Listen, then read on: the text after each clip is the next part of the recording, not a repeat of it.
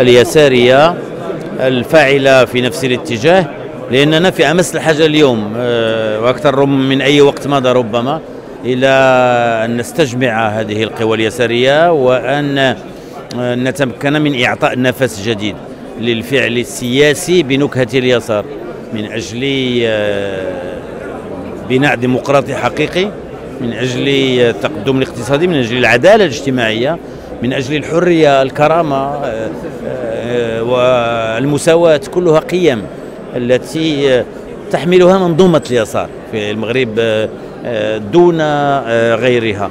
ونتمنى أن يكون هذا المؤتمر محطة وخطوة في هذا الاتجاه. بالنسبة للتعديل الحكومي الله أعلم سيأتي عندما سيأتي.